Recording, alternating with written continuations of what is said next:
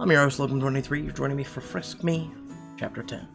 On paper, you know this is just another part of the job, a friendly way to help Luc feel more comfortable and to make up for all the prying you've been doing. But things aren't quite that simple, and no matter how you look at it, this definitely feels like a date, which of course means choosing the right outfit. My first date with Luc, I'll wear something... Oh my god. Wow. Katana, is that you? Gorgeous. Yeah. okay, wow. Alright. I like the I like the sweater we have. Just going out to be comfortable. After all, this isn't really a date, and I don't want to give him the wrong idea. Yeah, that black outfit would definitely give me the wrong idea. By the time you arrive at the restaurant, you're surprised to find Luc is already waiting for you. Wow, you found this place without me? I'm impressed. I'm uh, a New Yorker, Ava. I know my way around the city. Two of you grab a spot at the bar while you wait for a table. Um, speaking of the city, what area do you live in? A tiny box in the financial district. Total crap house, not like you. Uh, living in the upper west side, right? Yep, it's pretty sweet spot. Sure, you're dying to know how can I afford it? Nope, Nona filled me in. You live with her, right? Yep, me and my brothers.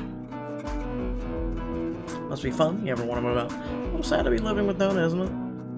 No, she's a nice lady. And actually, that's becoming a more common occurrence in America to be living with your parents to 30s or 40s. sad. really. Um, ever want to move out? One day, sure, but I'm in no rush.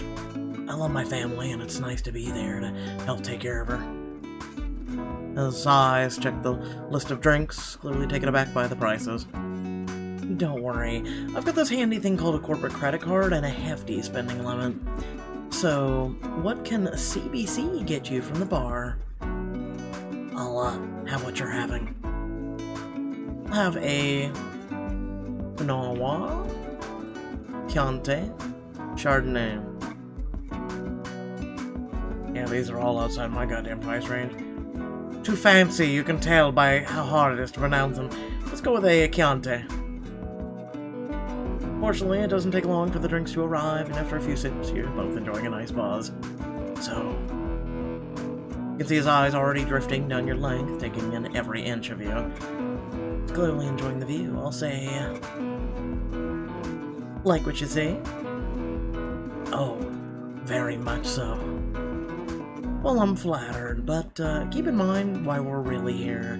You're supposed to be getting to know me, so let the questions commence, and keep it clean, Moretti. Clears his throat. Okay, let's start with the basics. How long are we gonna pretend that we don't want to be in bed right now? Or against a wall, or on a kitchen counter, Wow, that didn't take long, although I can't say I don't agree with him.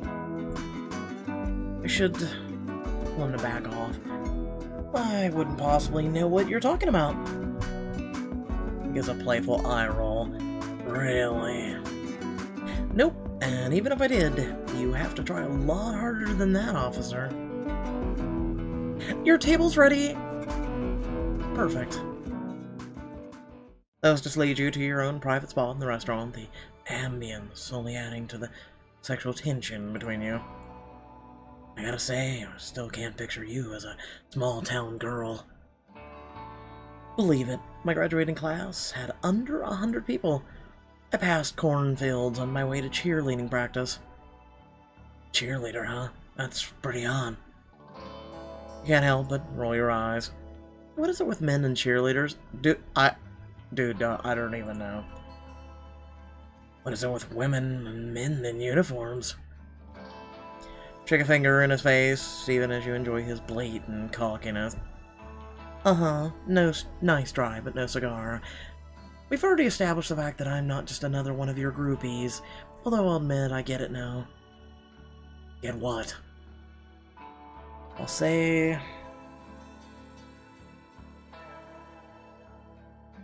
Why, you're such the family charmer. You're pretty good at it when you're not being an uptight ass. You flatter me, Ava. Well, don't just let it go to your head. Oh, don't worry. I'd much rather leave that to you. Seriously, Luc, you've been whining for two weeks about how I'm prying into your life. Well, here's your chance to pry into mine. Okay, then. I have a question. A little bit prying. Bring it on. I'm just wondering, how short does that cheerleader skirt? Bruh, can you actually think with your big brain instead of your small brain for like two minutes, please? I'll say...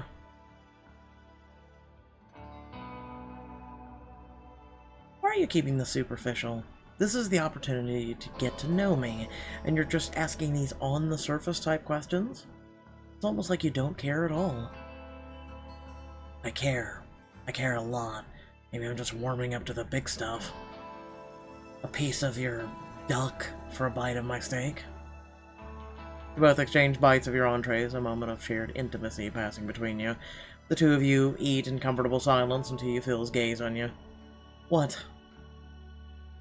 You do this often? Eat dinner? he smiles, slow and dangerous. Don't be a smartass. I mean, eat dinner with someone else, you know? Go on dates. I'll say...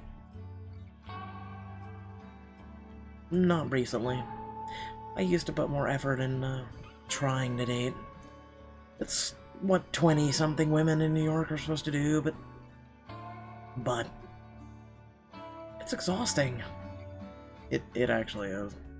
Oh I'm a guy, and I'm gonna tell you, it's actually exhausting. But let me ask you something, Officer Moretti.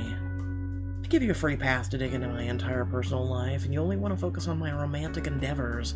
Why is that? You await the usual flirtatious banter that flows from him, but you're surprised his expression goes dark. I can venture into other topics if you want, but somehow I don't think you're gonna like them. Meaning? He leans forward. The first day in Captain Brinker's office, I didn't bother hiding the fact that I didn't want to be part of any of this. But my cop instincts were telling me that you don't want any part of this either. Can you explain that? We'll say... What makes you say that? Like I said, my instincts. You're acting like you've never been wrong before. I didn't say that. I said my instincts are never wrong. Interesting and precise claim. Sounds like he's saying that he made a mistake by not following his instincts at some point. You mean like you break off, suddenly unsure if you want to go in that direction. Do I mean like what? You mean like the Shayna Johnson case? The one where a little girl ended up dead? No, I can't ask him that. Not yet. Never mind. Luc sets his fork down and commits to studying you. You're holding out on me, aren't you? Hmm.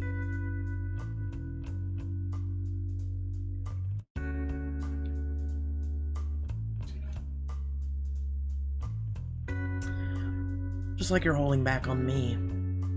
He lifts his glass to you. To secrets. Roll your eyes even as you mimic his motion. The secrets you get to keep for now. But at least tell me this. What? The story wasn't your idea, was it? No, it wasn't. What gave me away?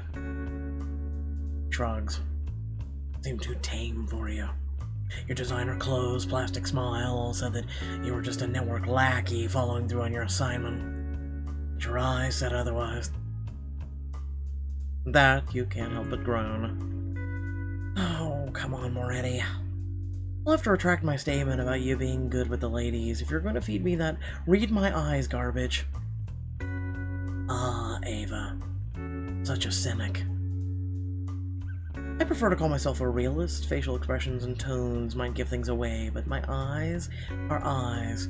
They're blue, they're brown, they blink, but they uh, don't tell stories. You're wrong. He says it so confidently you almost believe him. Almost. Alright, this guy's so confident, time to put his skills to the test. I'll ask. Nothing, because he's full of... I may not like the fluffy pieces like this, but that doesn't mean I'm buying this in the eyes BS. So why agree to do the story at all?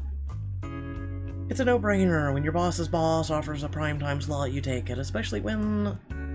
Especially when what? When Gwen Garrison is getting ready to retire, and that's confidential, don't tell us all.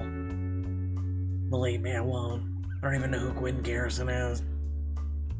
You can't help but let out a laugh. The most famous anchor woman on television, and he doesn't know her. Figures I fall for the one guy who couldn't care less about how close I am to the big time. Did I say falling for Luc? Oh, God. This is really happening, isn't it? Let's just say that if all goes well, I'll be the next Gwen Garrison. And that's a good thing. I'll say... It's why I came to New York to begin with. I came here with a goal in mind and I'm close now. Really close. That's not what I asked. I asked if it was a good thing. Yeah, of course.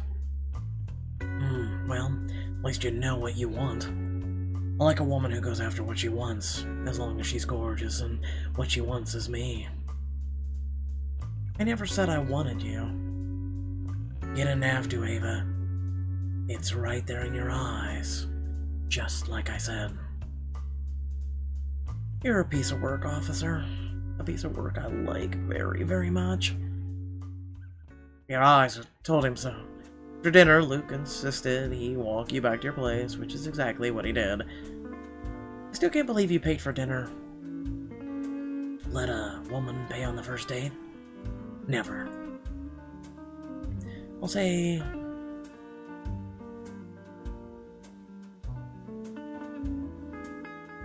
mm, it is old-fashioned.